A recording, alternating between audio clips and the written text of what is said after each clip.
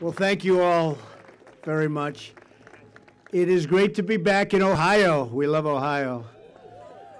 You remember Ohio? Oh, boy. It was supposed to be close. It wasn't close. And so wonderful to speak on the shores of the very magnificent Ohio River. We're here today to talk about rebuilding our nation's infrastructure. Isn't it about time?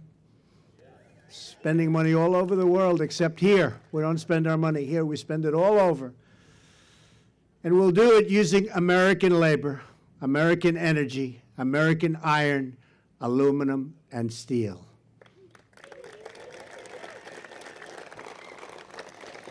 We believe in the dignity of work and in the greatness of the American worker.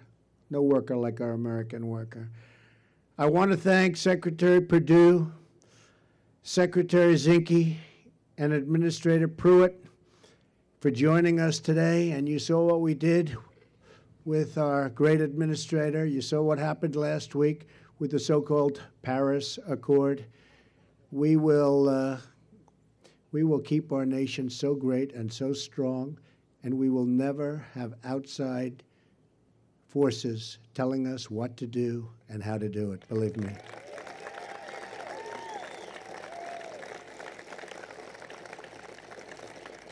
That would have been a huge anchor on our country. I'm also grateful that Governor Matt Bevin, his wife Glenna, and his family could be here, along with Lieutenant Governor Jenean Hampton from Kentucky. Great place. Where's Jenean? And Lieutenant Governor Mary Taylor from Ohio. Thank you, Mary. Thank you very much.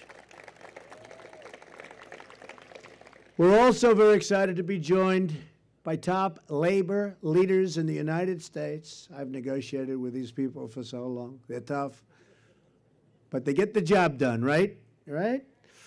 Together, we're going to put our skilled tradespeople back to work. Sean McGarvey is here with us today, president of the North American Building Trades Union. Sean took part in one of our very first meetings at the White House. That was a great meeting, Sean. And was there with us when we issued the long awaited approval for the Keystone XL pipeline, which has started. After years and years of stagnation, they said that's never going to happen. We got it started. It's going to happen, and it's about 48,000 jobs. It's a big job. And that's just the beginning. We have many other things happening, including, as you know, the Dakota pipeline, also moving along and very rapidly. We will also welcome Eric Dean, President of the United Iron Workers, and Terry O'Sullivan of the Laborers International Union of North America. I will proudly say to you all today what I told you and told our labor unions two months ago in Washington. As long as I am president, America's labor leaders will always find an open door at the White House. We had a great day. We love our workers. We're also pleased to be joined by executives from Marathon Petroleum, Bunge North America, CF Industries, Peabody Energy, Alliance Coal, AK Steel, Nucor Steel, Scotts, oh, you like that company, I guess. Scotts Miracle Grow, and many others who are ready to help us build the roads, the bridges, the tunnels, and the waterways of tomorrow. And they're currently working very hard. In fact, I brought a couple of the greatest builders in America Steve Roth of Vornado, Richard Lefrak of Lefrak. Where are you guys? Come here, come here, come here. Come up here, Steve. These people aren't used to this. You know, they like to build, they don't know about this. Get up here, Richard. Two of the great builders if this, of our country. Come here, Richard.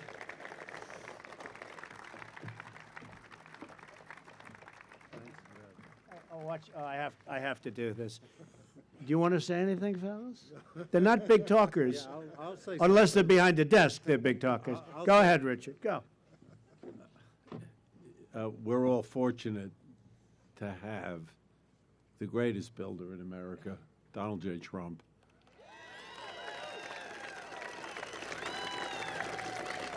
Standing behind an infrastructure program which America sorely needs and is ready to implement. Donald, President Trump, thank you. Steve, come, say. Huh? No? Come here. Get off the stage, fellas. That's it. Richard, that was a good job. Thank you. These are great builders, and we're watching, and, and they're looking over our shoulders. Believe me, they don't need the money. They're not doing it for that. I said, make sure it's going to come in on time, under budget, maybe even ahead of schedule. But we say on time, under budget, and they're going to be watching and looking over some of the big jobs that we have planned so it gets done properly. Not these jobs that take 14 years to build when they're supposed to be completed in 18 months. You've been hearing about them a little bit, right? That's been the standard. It won't be happening, not in this administration. The American people deserve the best infrastructure anywhere in the world. We are a nation that created the Panama Canal, the Transcontinental Railroad, and the internet. If you think about this, the great highway system, the interstate highway system, we don't do that anymore. We really don't. We don't even fix the old highways anymore. We'll take even fixing them, but we're going to get them going again like they've never been before. These projects not only opened new lanes of commerce, but inspired the immigration and the dreams of millions and millions of people. We crafted monuments to the American spirit. It's time to recapture our legacy as a nation of builders and to create new lanes of travel, commerce, and discovery. And we're going to see all the way into the future. And the future is going to be beautiful, and the future is going to be bright. In my campaign for president, I traveled all across the nation. I saw the crumbling infrastructure. I met with communities that were desperate for new roads and new bridges. Bridges were so dangerous, they couldn't use them. They were worried they'd fall down, and you've seen that happen. And I heard the pleas from the voters who wanted to know why we could rebuild. Foreign countries, my big thing. We build in foreign countries. We spend trillions and trillions of dollars outside of our nation, but we can't build a road, a highway, a tunnel, a bridge in our own nation.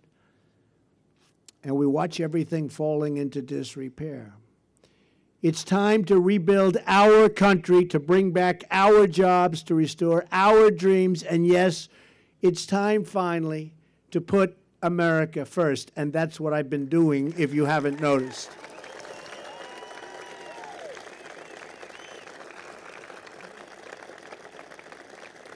While it's very early in the administration, I think everyone has noticed, right?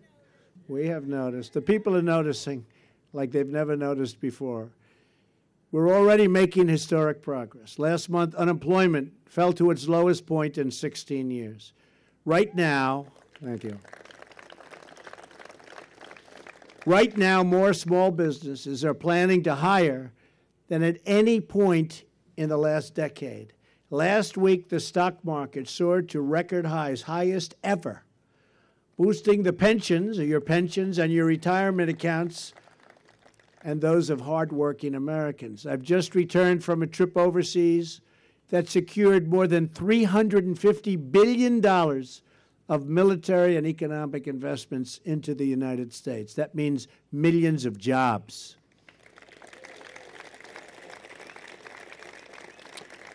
And I want to thank the King of Saudi Arabia, King Salman.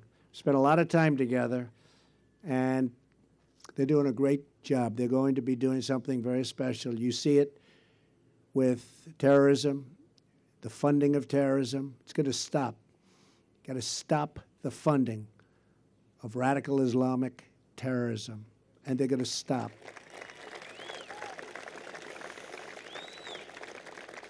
And they hosted over 50 all Muslim countries. They said there's never been anything like it in our history. In the history of this world, there has never been anything like what took place two weeks ago in Saudi Arabia. And I'm very proud to be a part of it. And hopefully, that can be the beginning of the end to this horrible, horrible situation that the world is suffering right now called terrorism. We're going to put an end to it, and we have to be very tough, and we have to be very smart, and we have to be very vigilant, and we're going to end it.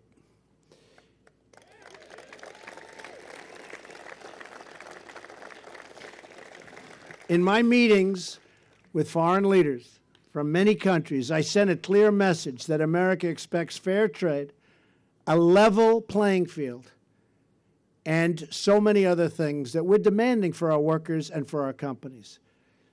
Every other country looks out for their interests. It's time that we finally start looking out for our interests in the United States. No longer will we sacrifice American jobs, factories, and wealth. The theft of American prosperity has come to a screeching halt, folks. And a new era of American greatness is about to begin, and you see it, it's already beginning. We're going to restore America's industrial might. And I look here and something, those barges, they've been waiting for us to say hello. The captain says, Please wave. Hello, Captain. He put up that big, beautiful American flag.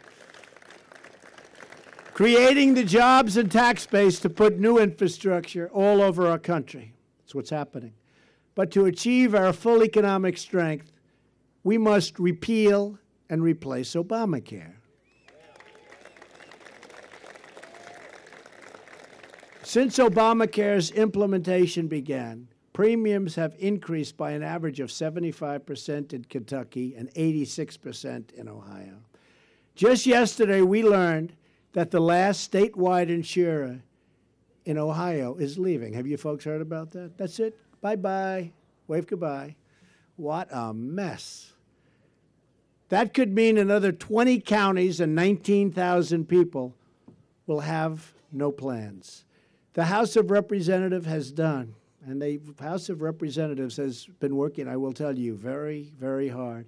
It's done its job in passing along an Obamacare replacement bill. Now it's time for the Senate, Mitch McConnell is working very hard, to act and to save Americans from this catastrophic event because Obamacare is dead. Obamacare was one of the biggest broken promises in the history of politics. Remember, you can keep your doctor, you can keep your plan. Didn't work out that way. You end up paying not to have insurance because it was cheaper. But there's another major promise that Washington has repeatedly broken, and that is the one where we are here today. It's a promise that's gone unheeded, and it's called Restoring America, Restoring Our Country. The promise of a safe, reliable, and modern infrastructure it hasn't been kept, but we're going to keep it. American lives and livelihoods depend on our action together. That's why I'm calling on all Democrats who honestly have really been obstructionists. Boy, have they tried. I mean, every single thing on health care, I won't get one vote. Obamacare is crashing. It's dead. It's in a death spiral, as the head of one of the biggest insurance companies said. It's in a death spiral. And we're coming out to do good, not to do bad, to do good. We won't get one Democrat vote. Think of it. They're just obstructionists. Every single thing is obstruction. I don't think, you know, honestly, if I were in that party, I wouldn't be doing it that way. I'd be doing positive things. That's why they, they lost the House, they lost the Senate, they lost the White House. People don't want to see what's going on. They want to see us all come together, but I just don't see them coming together. They're obstructionists. I'm calling on all Democrats and Republicans to join together, if that's possible, in the great rebuilding of America. Countless American industries, businesses, and jobs depend on rivers runways, roads, and rails that are in dire and even desperate condition. And millions of American families rely on their water and pipes and pumps that are on the verge of total failure and collapse. We are pleased to be joined today by representatives from many, many industries that depend on a truly critical component of our nation's infrastructure the 12,000 miles of inland waterways. We have farmers, coal miners, and by the way, those coal miners are happy. Coal miners, oh, they like Trump. They like Trump. Same with steel workers and oil workers. We've taken those restrictions and those horrible regulations off your companies. We're going to have clean, beautiful air, clean, beautiful crystal water. But you're going to have your jobs also. You're going to have your jobs. Maybe more than ever before. So I want to salute each of you for the work that you've done, and maybe more importantly, for the work that you're about to do because it's going to be a beautiful thing. You watch. These citizens know firsthand that the rivers, like the beautiful Ohio River, carry the lifeblood of our heartland. In fact, I'm very proud that behind us today are those 12 barges. Uh, look at this West Virginia. Do we love West Virginia? West Virginia. They're filled with West Virginia coal. And you know, next week we're opening a big coal mine. You know about that. One in Pennsylvania. It's actually a new mine. That hadn't happened in a long time, folks. But we're putting the people and we're putting the miners back to work. The contents of just one nine barge towboat, like the one behind me, carries the equivalent of 1,000 semi tractor trailers. People don't realize it. People don't realize it, but they do now. Roughly 60% of United States grain exports travel down these waterways to the Gulf. More than half of all the American steel is produced within 250 miles of where we're standing right now, and its production depends on the inland waterway system.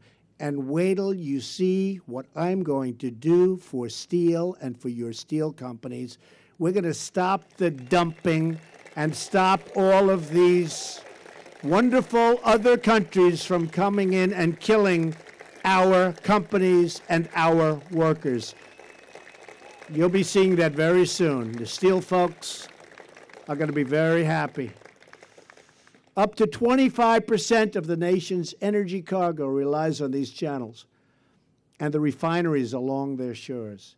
But these critical corridors of commerce depend on a dilapidated system of locks and dams that is more than half a century old. And their condition, as you know better than anybody, is in very, very bad shape. It continues to decay. Capital improvements of this system, which is so important, have been massively underfunded. And there's an $8.7 billion maintenance backlog that is only getting bigger and getting worse last December up the Ohio River near Pittsburgh. One lock built more than 50 years ago had to be shut down for five days due to hydraulic failure. And you know what that means. Five days means everything comes to a halt. We simply cannot tolerate a five day shutdown on a major thoroughfare for American coal, American oil, and American steel, which is going to get more and bigger. America must have the best, fastest, and most reliable infrastructure anywhere in the world. We cannot accept these conditions any longer. A few years ago, a gate broke from its hinges at the Markland Locks on the Ohio River in Kentucky. It took nearly five months to repair. Any of you know about that? Wasn't a pretty picture, right? right? I don't think so. And in 2011, a massive section of canal wall collapsed near Chicago, delaying everything, and it seemed like forever. Great American businesses like Land O'Lakes, which is here today from Minnesota. Where are they? Stand up. That's good stuff. Wick, come on, stand up. Good. It's Good stuff. Fear that the lock and dam systems they rely on are no longer dependable. I am here with a message for you and for all of the great businesses that are gathered with us, and maybe more importantly, because that's what it's ultimately about, those businesses, workers. Together we will fix it. We will create the first class infrastructure our country and our people deserve. My new vision for American infrastructure will rebuild our country by generating $1 trillion in infrastructure investment. Our infrastructure program, a lot, a trillion. You know, as of a few months ago, we spent $6 trillion in the Middle East, along with the death of so many incredible people, and along with all of the other problems that you've been watching every night on television and reading about in the papers. $6 trillion. And yet, if we want to fix a road or we want to fix a school or we want to make sure that a bridge doesn't collapse in our country, forgetting about even building new ones, we don't ever seem to have the money. Got to change, folks. It's got to change. Something wrong. Something wrong. Our infrastructure program will be based on forging new partnerships and demanding new accountability for every federal taxpayer dollar. Under this vision, the federal government will drastically reduce burdensome regulations, which we've already been doing. We have some more to go, but it's going rapidly. I think when people tell me, you know, we're doing the largest tax cut in history, people are more impressed with the fact that we've cut so many regulations. If they had their choice, which is hard to believe, nobody would have believed.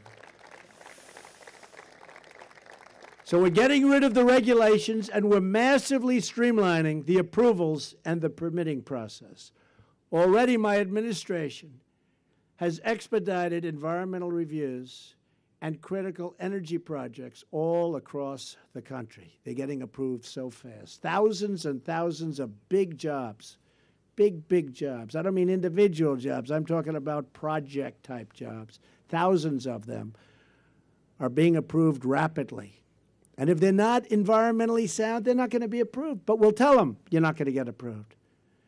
But thousands of jobs are being approved all over the United States.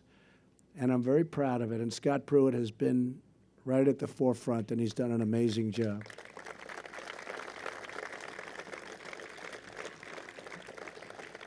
And it hasn't been that easy for him, has it, Scott? But he likes it. He, he likes to see people go back to work and he likes to make sure that the environment is perfect and clean. I want to add that too.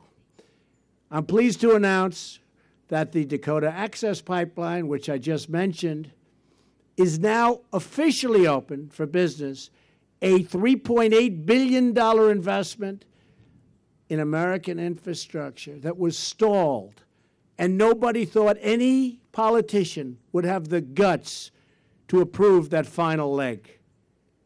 And I just closed my eyes and said, Do it.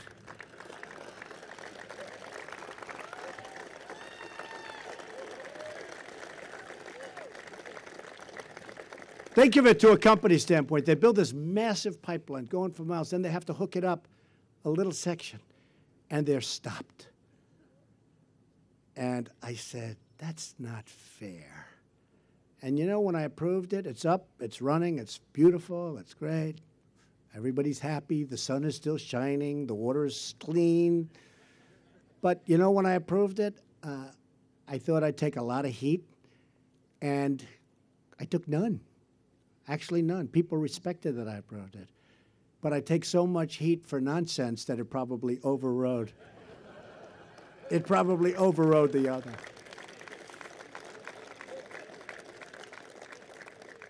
It's like a decoy. America built the Golden Gate Bridge in just four years and the Hoover Dam in five years. Think of that. It should not take 10 years to get approvals for a very small little piece of infrastructure, and it won't. because under my administration, it's not going to happen like that anymore. We will work directly with state and local governments to give them the freedom and flexibility they need to revitalize our nation's infrastructure. At least $200 billion of the $1 trillion plan will come from direct federal investment. Working with states, local governments, and private industry, we will ensure that these new federal funds are matched by significant additional dollars for maximum efficiency and accountability. We'll have people watching over each one of these jobs, and every penny will count to them. Taxpayers deserve the best results for their investment, and I will ensure that this is what they get. The last administration passed a stimulus package, of which only a tiny 7% went to infrastructure and much of that was just wasted money. You folks up front, you know what I'm talking about. The great infrastructure plan, nobody saw any money. Remember shovel ready, right? Shovel ready wasn't shovel ready. That I can tell you. We're not going to repeat that mistake. That's not going to happen again. Instead, our plan will help states and local governments prioritize their most pressing infrastructure needs building transformative projects that create a flood of wealth and opportunity to benefit every part of our country, especially rural America. The companies here today are prepared to work with us, and these are great companies today.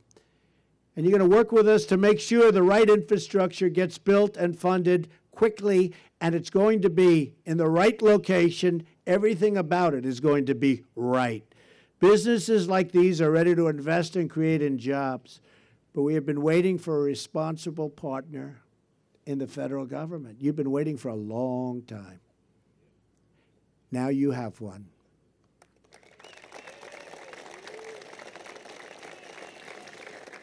So I want to thank all of the great workers for being here today. I want to thank all of the great business leaders. You have some business leaders that are legendary people in the audience running massive, massive companies and being slowed down, but now they'll be able to speed it up. Not only are we going to repair much of the depleted infrastructure, but we're going to create brand new projects that excite and inspire because that is what a great country does. That is what a great country has to do.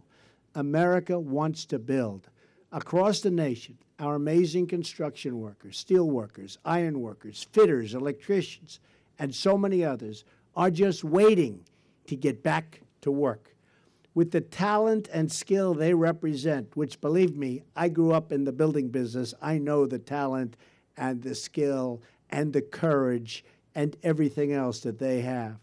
There is no limit to what we can achieve. All it takes is a bold and daring vision and the will to make it happen. Nearly two centuries ago, one American governor had just such a vision and a will.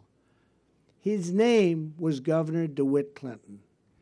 As the governor of New York State, he dreamed of a canal stretching nearly 400 miles to connect the Atlantic Ocean in the east with the Great Lakes in the west.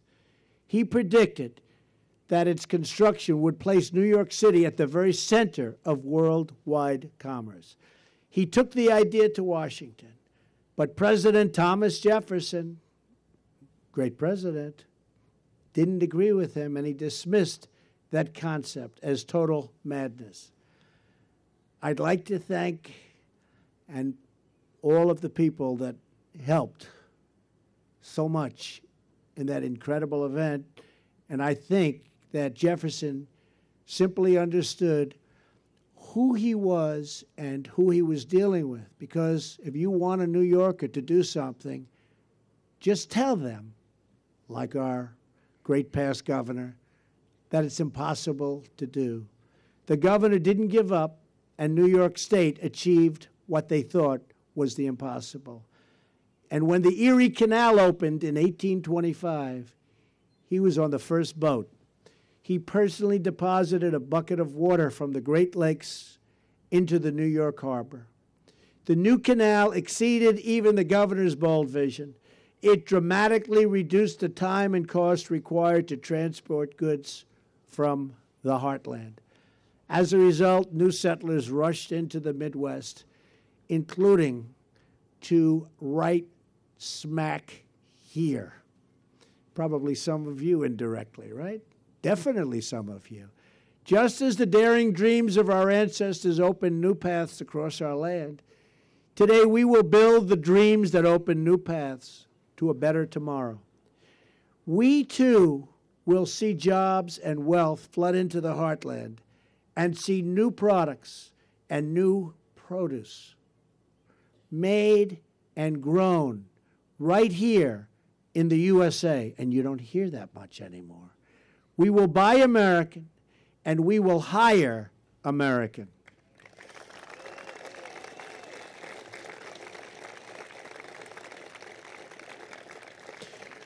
We will not, so importantly, be content to let our nation become a museum of former glories.